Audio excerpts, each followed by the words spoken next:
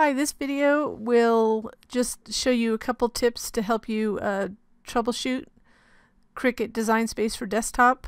So now the desktop version is the only version, and this is for Windows 10. Um, this is not applicable to Mac, although the first a couple of the steps we do um, might help, but uh, there's a couple steps, and I will I'll note them if you're a Mac user as I'm going through to let you know what's not the same. So here's Cricut Design Space, and I've been seeing um, little problems here and there as all desktop apps will have.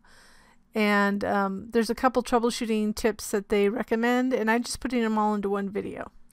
So if you load it and there's some things that are blank, I mean, obviously mine's working right now. Um, but if you're having trouble, one simple thing you, thing you can try is under the View menu and force reload. This is supposed to reload the app. So technically, I mean, I'm not going to get into the technical because I don't know all the background, um, but this is something they have you do. Um, that'll use work for Mac users as well. It's the same same steps. And then if for some reason you're having trouble still, another simple thing is to just sign out of the app and re-sign in. Um, and close and reopen, obviously. So so to sign out, you just go ahead and click on this little menu bar here and you can click sign out. And then you just go ahead and hit sign in. And you might want to close it and reopen in between steps. So I'm not going to go through the signing in.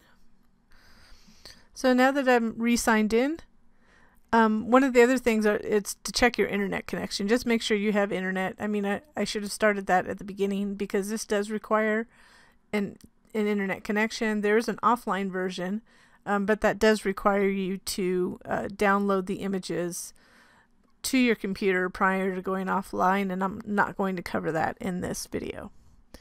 Now, number three is a thing that they've been advising people to do. So, and I went through the steps and I found a slightly different way to do it. Uh, I mean, I'll show you the manual way and then I'll show you the quicker way. So I'm going to close out of this. So a lot of people are getting like blank windows. They don't open up and it doesn't happen to everybody, but when it does, there's something you can do called clearing the application cache. So you want to go ahead and click on your File Explorer, which is down here, and there should be a link on your bottom taskbar by default on every Windows 10 device. You can always search for File Explorer here for some reason if you can't find your link down here because you may have customized your taskbar. And then go to the C drive, which is typically where you're going to find this. And then go to Users. And then you want to find your user profile, which that's mine. And then double click on Cricut Design Space. And then Local Data and then in here you can delete everything and then close out. So if we delete everything, close out.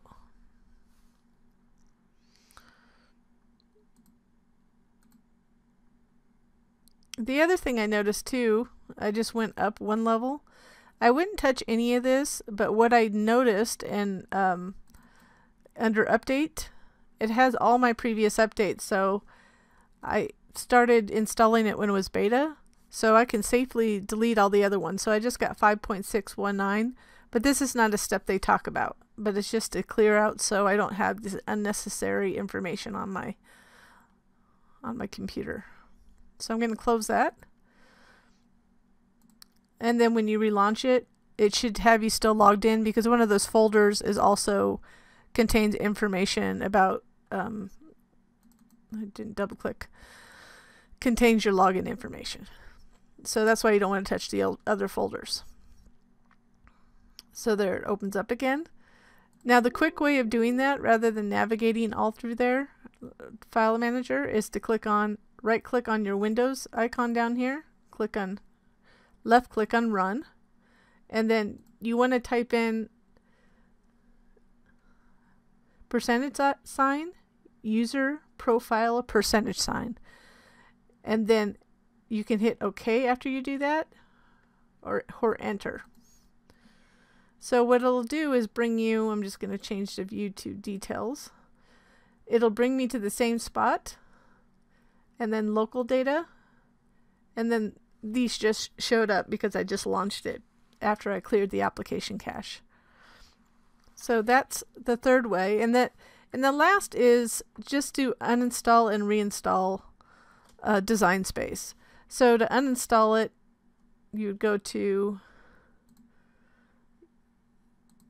settings here. It showed up in another window. Let me pull it up here. And then apps, uninstall.